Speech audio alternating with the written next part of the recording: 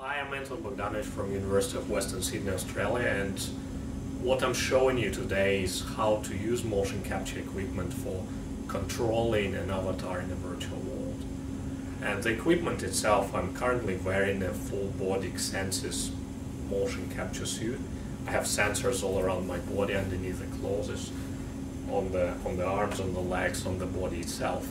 And whatever I do, however I move my body, all this data gets recorded and wirelessly transmitted to my computer, and computer can animate an avatar in real time, right? So whatever dances and funky moves I make gets directly transmitted to this avatar you see there on the screen, to the fellow back there. And currently we use it in our school just to animate some artificial intelligence controlled avatars to give them some funky human-like moves, right? And you will find some examples on my website. But what, I'll, what I'm showing you today is how to use the same equipment for the user advantage. So if you imagine a user that has a big screen like we do, and in front of a big screen is really impractical to use keyboard and mouse You want to use something, something more natural. You don't want to be holding anything, you just want to control the experience with your body. And I'm about to show you how. So right now what you are seeing is I'm controlling this avatar with the position of my hand.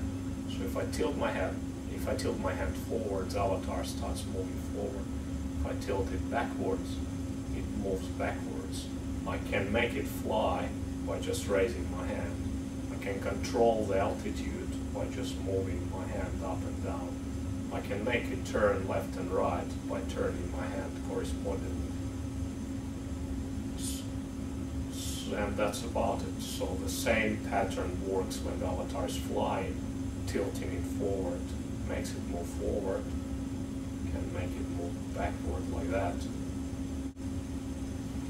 So this is this is really a first step of of a bigger project and I'm, I'm aware that some people are doing similar things with motion capturing and controlling avatars, but what you will see in the future will be will be much better than what they have. Will be true magic. So stay put and watch the space for more.